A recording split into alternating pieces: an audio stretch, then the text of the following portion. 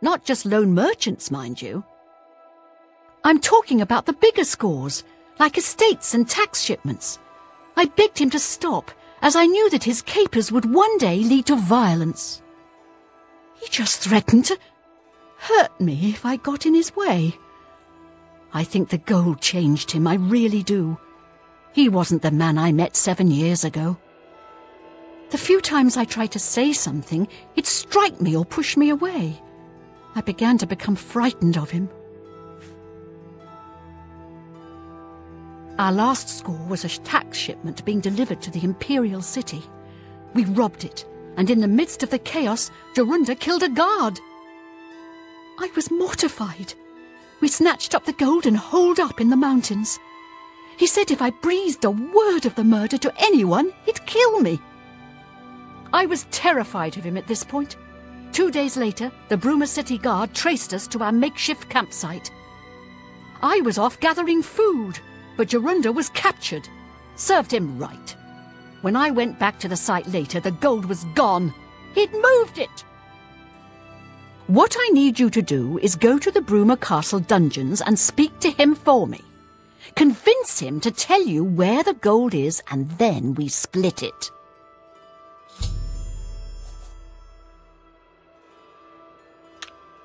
He's not likely to just come out and tell you, so get creative.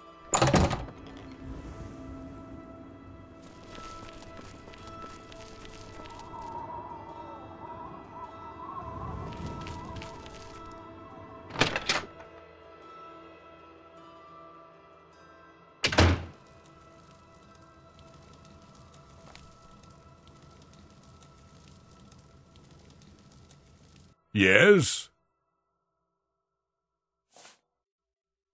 Yes? No, you... Not fun. Oh, well done. Goodness. Oh, please. Really? Not funny. Not even a little bit.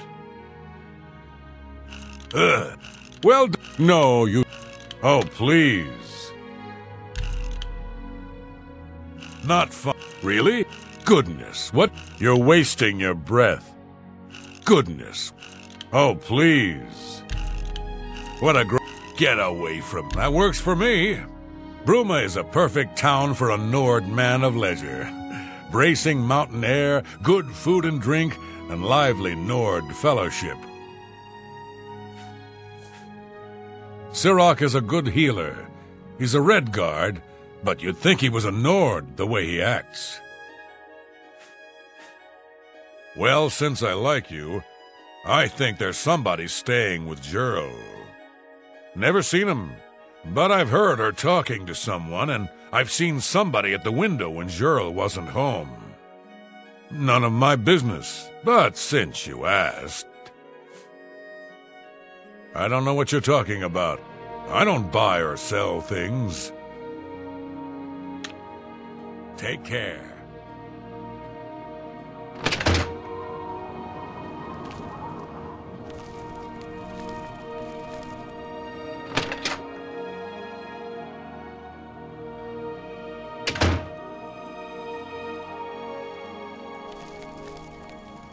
I'm Jantus Brolus. I'm the illusion trainer. Take your time. What a great... Don't try. I like that a lot. You're wasting your breath. Not now. Really? You can't... Oh, that's great. That's really... I like that a lot. Don't... I wish I... You're wasting your breath. That's just... I like that. Don't... Remarkable. What not remark? Is that? Where did you get? You're good. Easterus and I used to be adventurers, but we've retired here. Bruma is far from civilization, but we're ready for a little peace and quiet. You've got a lot to learn. You too.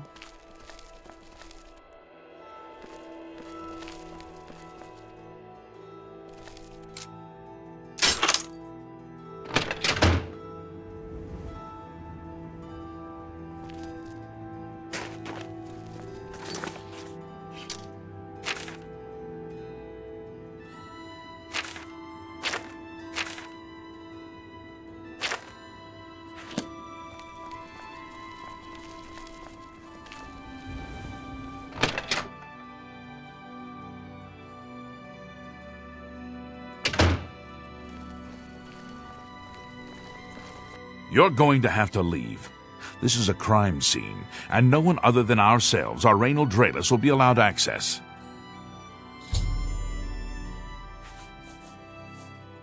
The culprit in this crime has already been dealt with.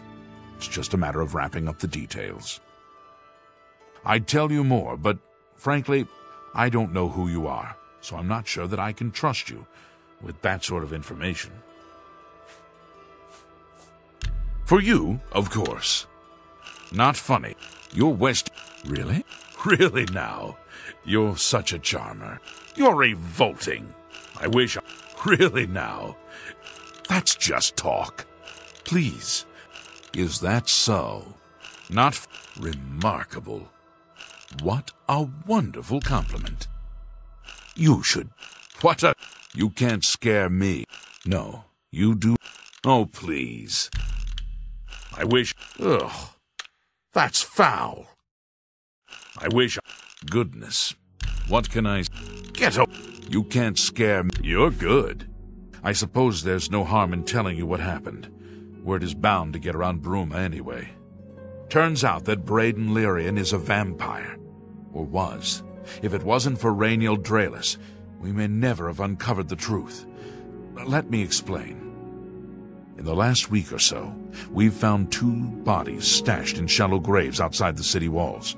The bodies had puncture wounds on their necks.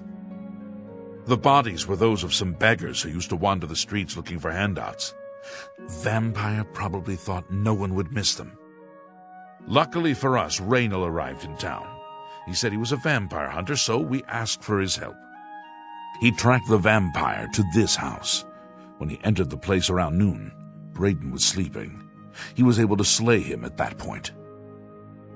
Luckily, Braden's wife wasn't home. Poor thing. She didn't even know her husband was infected. We did a follow-up investigation, and it's true that no one recollects seeing Braden out in the daylight. He's only been spotted at night. I'm afraid there's not much more to tell you, so you can see we really don't need any help, but thanks for the offer.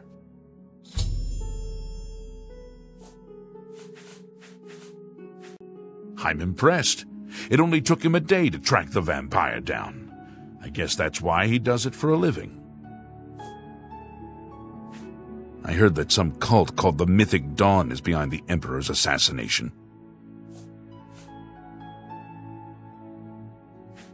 As far as I know, he was a good man. I, I never saw this coming. But vampires are masters of deception, so I guess it makes sense. Feel free to question anyone in town. They shouldn't give you too much trouble.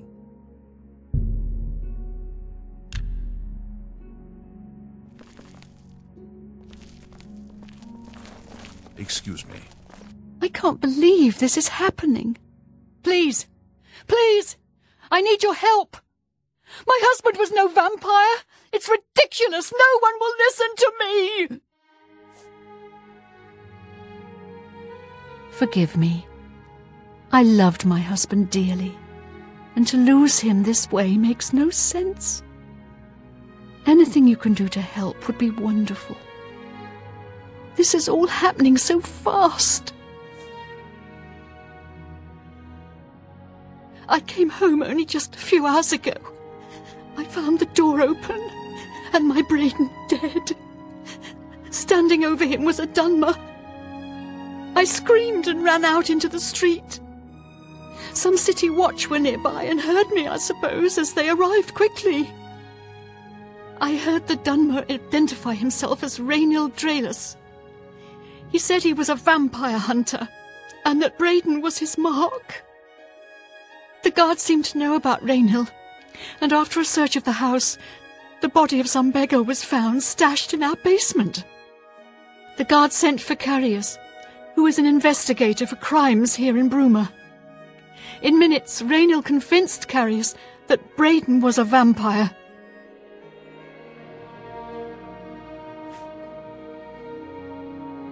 Well, of course it does. It was obviously planted here. Why would he stash a body in his own house? That's ridiculous. And another thing. The guards are making a big deal out of no one seeing Braden out in the daylight. Well, of course that's the case. He works at night and has to sleep during the day.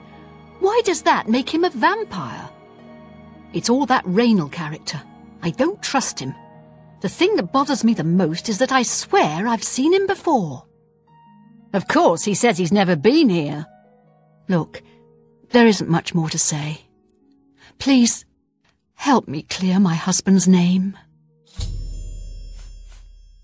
I have no idea where he'd be. Just find him and make him tell you the truth. I swear he's a liar. We'll see. I won't. Such adventures. You think that's funny? Don't talk such rot. I can't argue. Not now. I salute you most impressed. That's just not funny. I can't. Gracious, what a. That's just stupid. Not now, not later. All right, I get it. I know I sound desperate, but I know I'm right.